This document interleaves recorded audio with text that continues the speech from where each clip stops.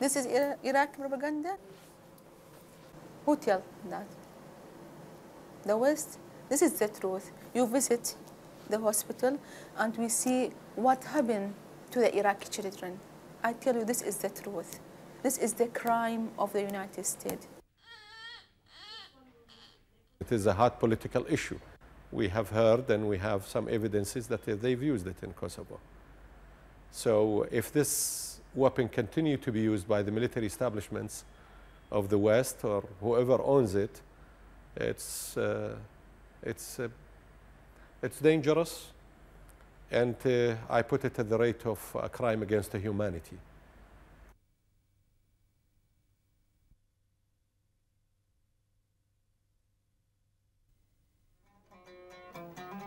Iraq, once a fabled land of caliphs and kings, is today a country under economic siege.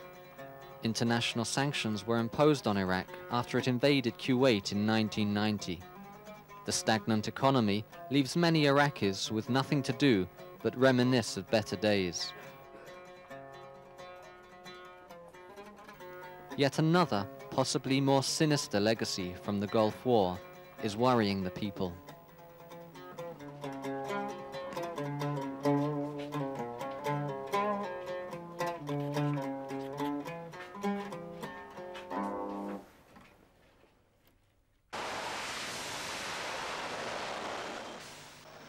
Iraq claims that Allied bombs dropped during the Gulf War have contaminated the country and exposed its population to a catastrophic health risk. In particular, bombs containing a heavy metal called depleted uranium. American and British forces fired over a million rounds containing depleted uranium, a substance both radioactive and chemically toxic. On this road, thousands of Iraqi troops were killed fleeing Kuwait. The bombs used are arguably behind the continuing death rate among Iraq's Gulf War veterans. واثناء الانسحاب آه، تعرضنا الى آه، قصف شديد At the time of the withdrawal, we were under heavy bombing in a convoy of tanks and trucks with a lot of equipment. I was driving with my unit. the shelling was fierce, and I began to smell a very bad smell, a strange smell, something like bad eggs and uh, rotten garlic.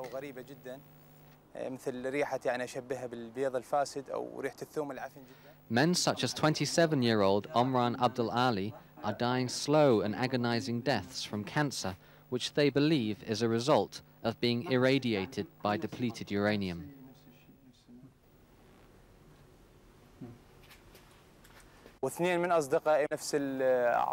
Two of my friends have the same symptoms and same swellings. I think that they have been cured. From 1997 till now, I've been taking various medication. I've had injections and I've taken pills. I can't see any progress. Day by day, the swelling is getting bigger. At night, I can't sleep and I feel I'm suffocating. It's strangling me between the left and the right. Depleted uranium is used in military ordnance because it has a greater density than lead, making it an ideal armor-piercing weapon. More recently, it was used by American forces in the Kosovo crisis.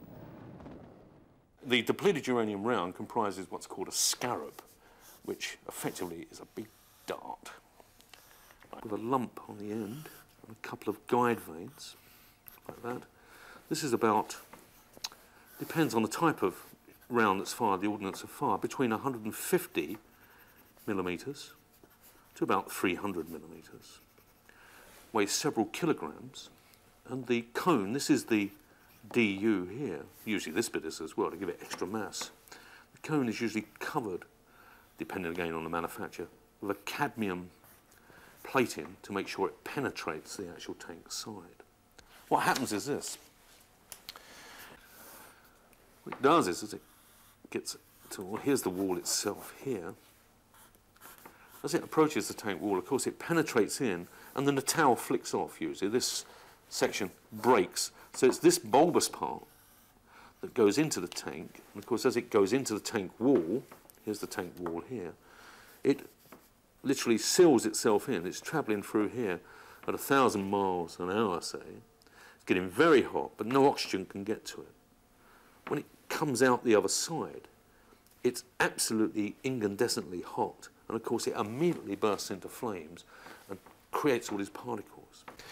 And the amount of energy, although it's quite high, the amount of energy here just gives you a puff of very high temperature. So what's interesting is that it doesn't detonate all the munitions in the tank. It's just enough energy to actually incinerate any diesel fuel in the tank, burn any dry skin. So it's a pretty hideous weapon in terms of what it does. It's a flash, bang sort of toaster.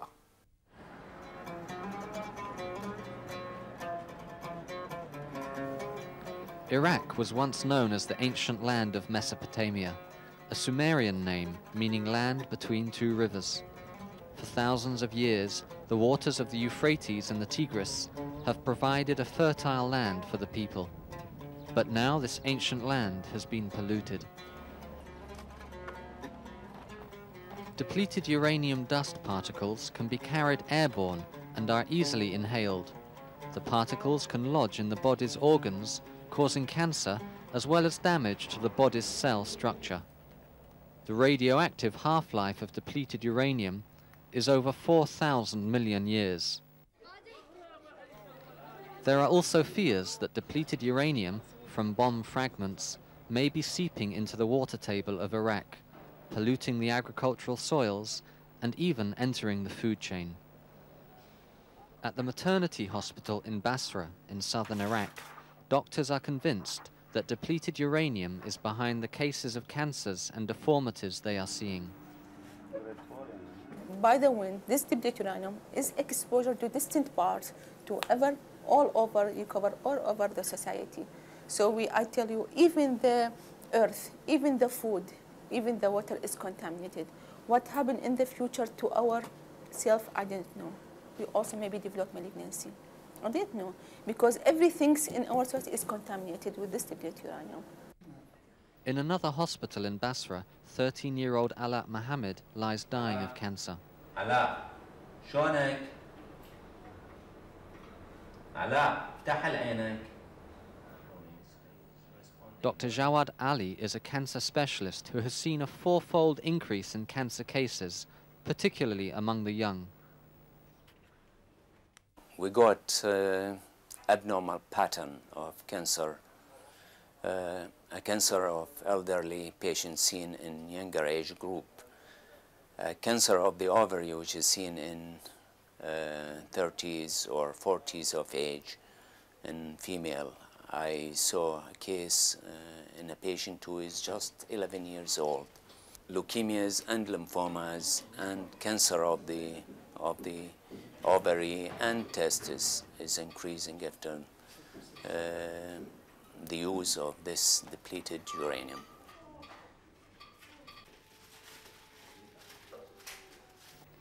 Alat was four years old at the time of the Gulf War. Just half an hour after filming, Ala died.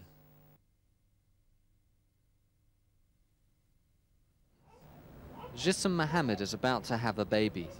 Tomorrow she will undergo a caesarean section.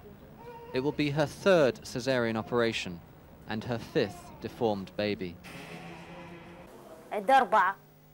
I've had four babies with the same condition, with big heads, full of water, and I don't know why they have it. I feel confused and I don't know what to do. We'll see what they bring out of me. I don't know what I can do. I'm very scared. In fact, I'm petrified. Dr. Abdul Karim will perform the operation. He believes depleted uranium is not only destroying the lives of Iraqi civilians today, but is also harming the life to come.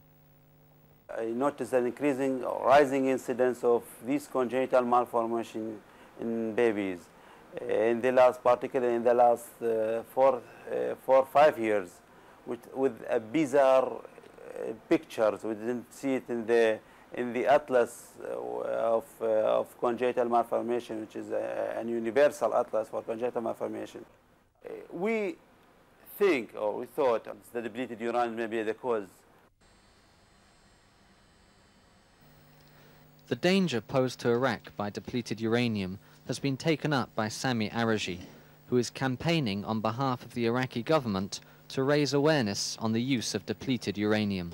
By the year 93, 94, we had a lot of data on what took place, uh, specifically on uh, congenital diseases. And we presented all the findings in the first Iraqi conference on the usage of DU on the south of Iraq. Uh, by that time, we had a lot of data. We had known that has been used extensively on the south of Iraq as well as on areas of Kuwait and Saudi Arabia.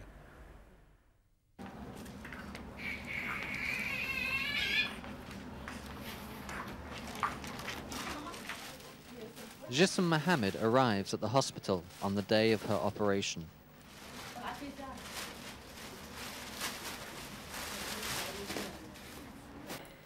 Jism's previous babies were born with a condition known as hydrocephaly, or water in the head.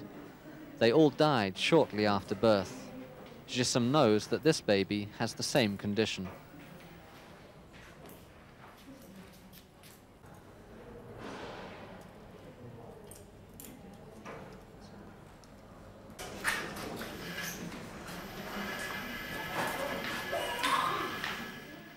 The baby boy is alive, but clearly has a larger than normal head.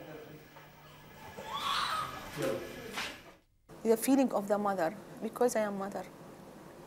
The mother is ten, nine months pregnant with all the effort of pregnancy and then the products of her pregnant is abnormal baby. What happened to the mother? What the feeling of the mother? Just an hour after the operation, Jism is back in her ward. Due to restricted medical supplies, she is given no painkillers to ease her agony. She hasn't been shown her baby yet. Like other deformed babies, Jism's newborn child will probably be neglected and die very soon. The view that such babies are deformed and dying because of depleted uranium is not shared by the authorities in the West. In tests on its own soldiers, the Ministry of Defense in Britain rejected the possible harm of depleted uranium. Any radiation from possible exposures are extremely unlikely to be a contributory factor to the illnesses currently being experienced by some Gulf War veterans. The hazard from depleted uranium is a, an extremely small risk of lung cancer and the possibility of transient kidney damage if it's ingested or inhaled. I believe that we at the NRPB have studied the risks from depleted uranium more than adequately. This has also been looked at by other organizations, and so far there is no convincing evidence that uranium represents a hazard to people. The studies done on Hiroshima and Nagasaki survivors, studies done on other groups, cohort groups that have had radiation exposure, Chernobyl, for example, quite clearly, and it's established and acknowledged by the International Commission on Radiological Protection, which is the authority on this, that there will not only be a problem with living exposures, humans are exposed, say, in their adulthood and childhood, but also in the second generation, so one can get genetic defects carrying over. So in other words, the first population that's exposed uh, will likely show a, higher incidence of cancers and leukemias. And the second and third generations and successive generations are also likely to show genetic damage that will manifest themselves as some form of congenital birth defect, cancers, etc. Iraq's own interests were dealt a blow by this man. Wafiq Samarrai was head of Iraq's military intelligence before defecting to the West in 1994. He comes from a village close to Saddam's and has personally known Saddam for over 40 years. As former military intelligence chief, Samarrai provides a unique and revealing insight into the inner workings of Saddam's regime. Uh, كما هو واضح بأن الحكومة العراقية والنظام العراقي It is clear the Iraqi government is using the issue of depleted uranium for political reasons instead of caring for Iraqi people. الشعب العراقي يريد أن يقول بأن استخدام هذه العوامل أدت إلى The regime wants to say that the use of uranium has caused a lot of death and illness. So, as I said, the regime uses uranium for political purposes and propaganda. اليورانيوم لأغراض سياسية ولأغراض دعائية Depleted uranium clearly has a political value for Saddam. He is using it to arouse international indignation against the West's treatment of Iraq. In this way, Saddam hopes to get the sanctions lifted, allowing him to sell his oil and so rebuild his economy and his army. But there may be other causes for the cancers and deformities which Saddam is trying to pin on depleted uranium. العراق هو آه، كله أصبح منطقة آه، ملوثة The whole of Iraq is polluted land, probably the result of the use of chemical weapons in the first Gulf War against Iran and the use of chemical weapons against the Kurds, and also the bombing of industrial factories. استخدام الأسلحة وتفجير المنشآت لا أعرف لماذا يعني As a result, Iraq is clearly a polluted area. But in Iraq, it is very difficult to uncover the truth. Government minders are always present when filming.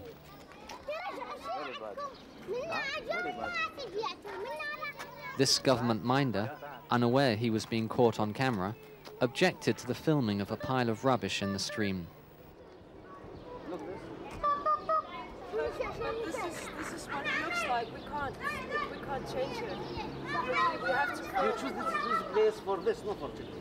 I swear. I, I, I choose this place. I didn't choose this place. You choose the place. I just film what I see. You are filming there. We, we, but we filmed the river. It, if it looks like this. To register his disapproval, he took the tripod and walked away, bringing an end to the filming. Ensuring the press reports what Iraq wants to be reported is an important part in Iraq's efforts to lift sanctions. It is in the hospitals where the full force of sanctions seems most immediately obvious. Iraq claims around 6,000 children under five are dying each month from malnutrition.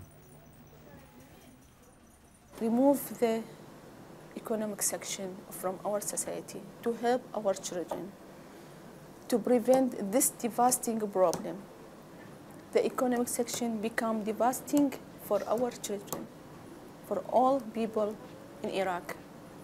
We lose every day 100 100 regarding children old man old women and we lose many patients because of economic section.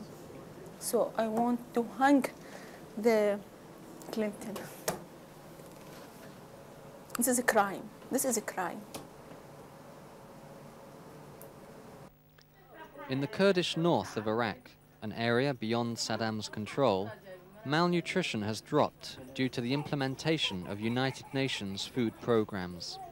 In the rest of Iraq, Saddam has refused the UN a role in distributing food directly to the Iraqi people, seeing this as an affront to his authority. Instead, his regime acts as a middleman. Malnutrition remains as high as 26%. Why the persistence on using this ugly weapon of boycott against the Iraqi people? Why? Is it fair? Is it just? I don't think so. I think it's, it's an act of, uh, an act of uh, destruction. W- what else? We haven't attacked anybody. Okay, and if we entered into a war in Kuwait, we, well, we, it's finished. It's been 10 years now. Why do, you, why do you run after us all this period of time? هو صدام مشكلته الحقيقية أو أحد Saddam's problem is that he feels he is strong. أنه يشعر He بأنه feels he is قوي more powerful than anyone else. ويشعر بأنه أقوى This is a wrong way of thinking. وهذا تفكير خطأ لأنه يؤدي به إلى It leads you into making wrong decisions and misreading the situation. سيء بالموقف The high stakes debate over whether depleted uranium is responsible for cancers and deformities is intensifying, particularly in light of its use in the Kosovo crisis. It would be a sad and shameful irony if it turns out that the West, which accuses Saddam Hussein of amassing weapons of mass destruction, is itself guilty of using radioactive and chemically toxic weapons. We can no longer tolerate, with this sophistication of weaponry, no longer tolerate the military planners, the targeters, having an entirely free hand to do something which may, okay, it may control a so-called tyrant for a few years, but certainly we wouldn't want to see the effects going on for many decades. And that may be what we're seeing now in Iraq, and it may be what we will see in Serbia by the use, the unconstrained and unrestrained use of high technology weapons.